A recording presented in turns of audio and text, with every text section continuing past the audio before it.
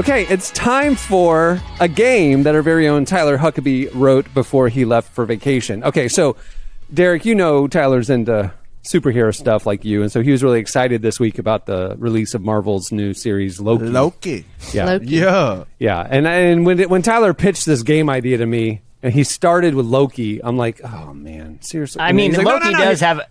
He was like, he was like, he was like, wait, no, moment. no, this isn't about superheroes. Yeah, so the idea isn't about superheroes. So just, just FYI. But Loki comes out, and then uh, the number one film in the country right now is Cruella.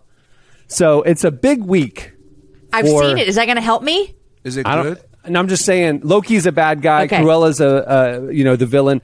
So it's a big week for bad guys. That's really Got- the okay, point. got is it. that it's gonna Gotcha, this okay. summer is the summer that it's good to be bad. Um, Oh, put that on a T-shirt. that's what he wrote. right that's what he wrote right there. it's uh, good to be bad. But how good? Now this is the game. How good do you know bad? In this game, we're going to test your knowledge of the best of the bad. So twirl your mustache, poison your apples, and dust off your flying broomstick because in this game, the only way to win big is to get bad. That's Tyler Huckabee's copy. I everybody. love that. It's amazing. Pretty good. Pretty good. He got it. All right, so what we're gonna do is I got I got a list of questions that are gonna be multiple choice. All three of you are gonna play. So here you go. You're all against each other. Every man and woman for themselves. And so what I'm gonna do is I'm gonna read the question. I'm gonna give you options, and I'm gonna go around the horn, and y'all pick your answer. Okay? And then Clark. I'm just uh, gonna copy what Jesse says. Yeah. But see, I'm- I'm you gonna might be sitting next to the kid who fails the math test, and you're Yeah, copying the wrong person. I'm a big faker. I'm a big faker, Derek. You, yeah.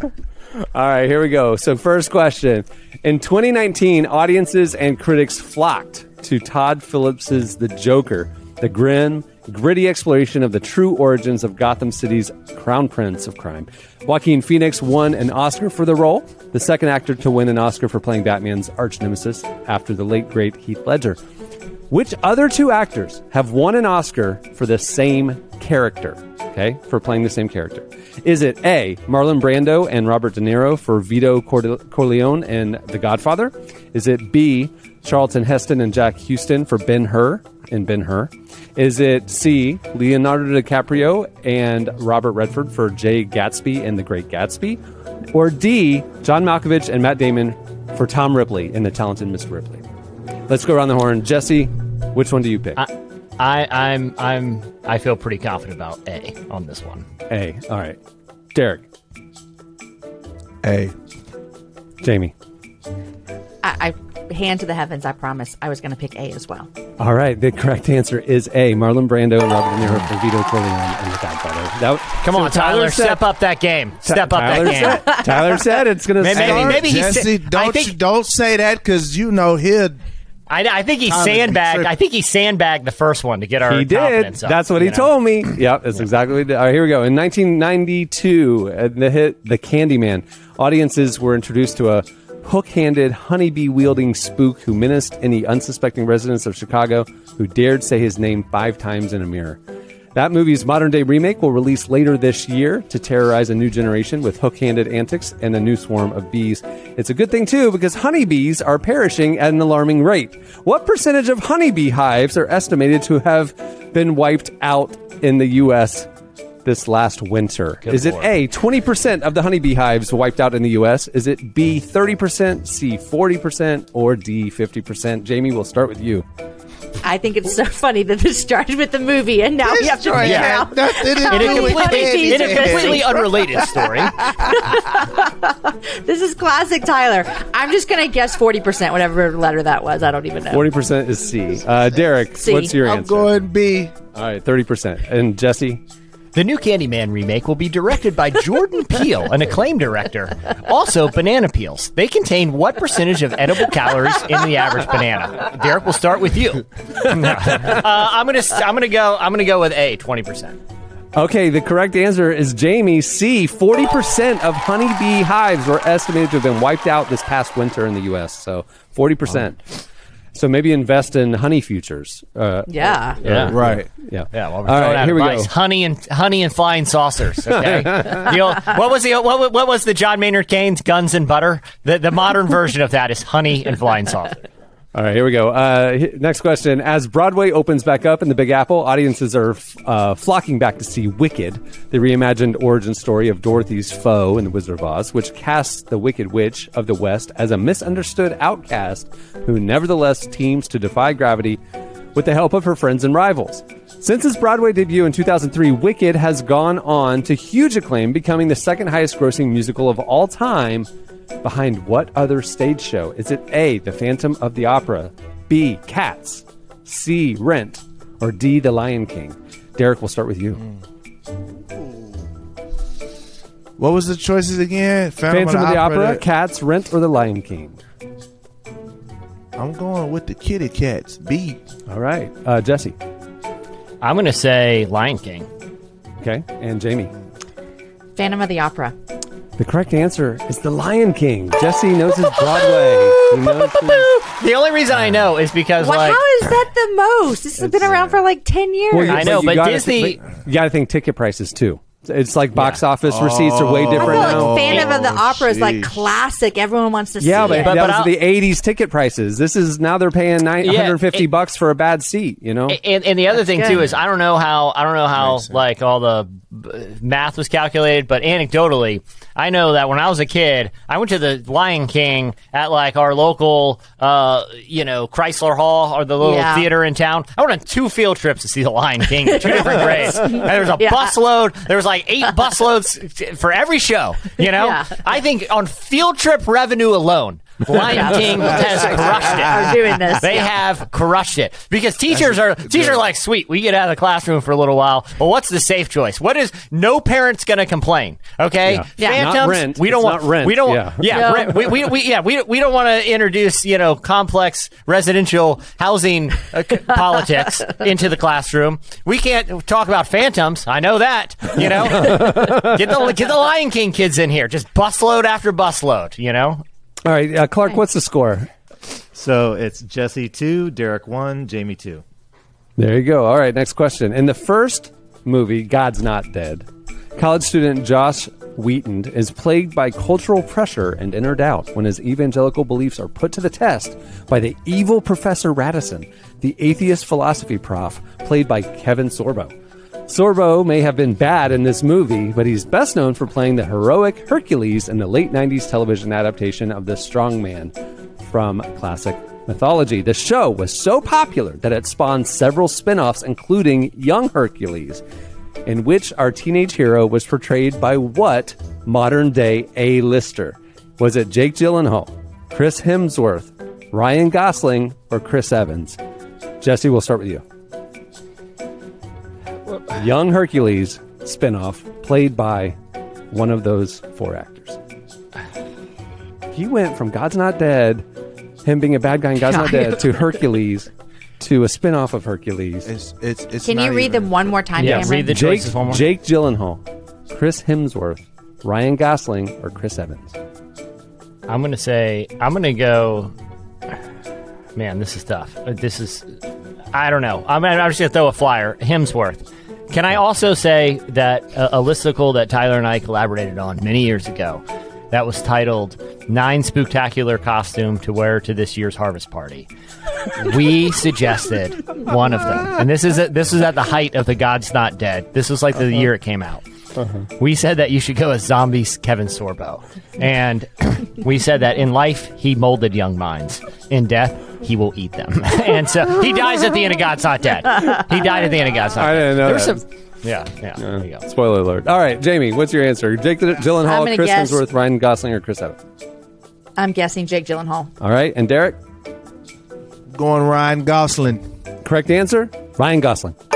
Derek got the point. All right, next question. Here we go. In The Wire, the real bad guy is society. As David Simon's defining prestige drama plumbs the depths of crime and corruption in Baltimore through the lens of the people trying to navigate the complications of contemporary life through mazes of political intrigue, bad apples in the police department, systemic injustice, and human greed. The show launched the careers of countless character actors, and few more so than Michael K. Williams, who got his first acting gig when which well known rapper said Williams looked menacing enough to, quote, be my little brother? Was the rapper the notorious B.I.G., Tupac Shakur, Dr. Dre, or Toby Mac? Jamie, we'll start with you. Can you tell me the year that this happened? This is going to help me. Uh, no, That's not a it part would have been. It would have been the '90s because The Wire started at the end of the '90s, and so And he got was it. still alive then? Okay. Yeah, I'm All right, gonna everybody go- in the list was alive when they said would have said this. That's to- what I was. I was going to see if there was a loophole. Okay, yeah. Uh, I'm going to go with Notorious B.I.G. Okay, Derek. Man, what's the list again, bro? So Michael K. Williams, his first acting gig was in a music video because the rapper said, "You could be my little brother. You look like you could be my little brother." And the the list is Notorious B.I.G., Tupac Shakur, Dr. Dre, or Toby Mac. Which it would help me if I knew who this guy was, He was in the Michael Wire. K. Williams or whatever. I know. I don't know that. I don't know this. Um, He's an iconic bad guy. Iconic bad I know, sorry. I'm going. I'm going Dre. Yeah. Okay, I'm gonna. And I'm gonna say. I'm gonna say. You come at the king. You best not miss. Dr. Dre. Let's do it. Uh, if you know what Michael K. Williams looks like with that scar and stuff, Pac. it's Pac. Tupac Shakur. Yep. Tupac. I didn't know if Pac was alive during that time. I'm That's what I was trying to Yeah. ask. Yep. Yeah. I was thinking, but I mean, Pac. Yeah, definitely. All right. All right, next question. In 1992, Nintendo introduced Wario, the sinister counterpart to Mario and Luigi's video game exploits with fire flowers, Koopa troopers, and invincible stars. With his zigzag mustache, burly arms, and snide demeanor, Wario frustrates the Mario Brothers' attempts to rescue Princess Peach and bring peace to the Mushroom Kingdom. That's been Mario's goal since his very first appearance in 1981 when he debuted in the original Donkey Kong arcade game under what name? Was the character's name that eventually became Mario? Was it Mr. Plumber, Guido, Jumpman, or King Peach? Derek, we'll start with you. Gosh, he went from the bad guy Wario to Mario Brothers to the debut. First time we saw the pick a character. Anytime, anytime there's that much context for a question, I know. where Man, it's what but I do. I what's do the- feel like I know the. An- I feel like I know the answer to this one. I, I, I'm pretty Mr. Plumber, confident. I have a Guido, guess. Jumpman, or King Peach? The plumber, Guido, Jumpman, or King Peach. That was the It's like a original. clue game. Yeah. The plumber. Okay, Jesse Jumpman. and Jamie. Uh, I was going to say the plumber too, but I'm, Okay. I'm nervous now because Jesse seems so confident. Uh, the, the the character was first known in 1981 as Jumpman. There you go. Jesse got the point. All right, where are we at? Nerd Clark? stuff. Me- I've been friends with Tyler too long. He brings this kind of stuff up conversation. Tyler, how you doing, man? How's how's life in Nashville? Good. Did you know 1981 the original uh, name for Mario was Jumpman? Anyway, things are good. Family's good. Um, hey, by the way, the honeybee population declined by uh, 40% last 40%, year. yeah. What's going on in your life? You, you still vacuuming pools recreationally? Just seeing what's down there? Uh, what's the what's the score update, Clark? Okay, so Jamie and Derek are tied. Jesse is leading with three. And they have two each. have two. All We right. have two. Okay.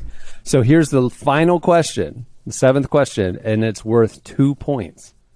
So if Jesse gets it wrong and y'all get it right, one of you could win.